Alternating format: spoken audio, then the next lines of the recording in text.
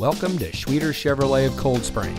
And here's a look at another one of our great vehicles in inventory and comes equipped with leather seating, keyless entry, tow package, air conditioning, traction control, power windows, fog lights, cruise control, daytime running lights, heated side mirrors, and has less than 25,000 miles on the odometer.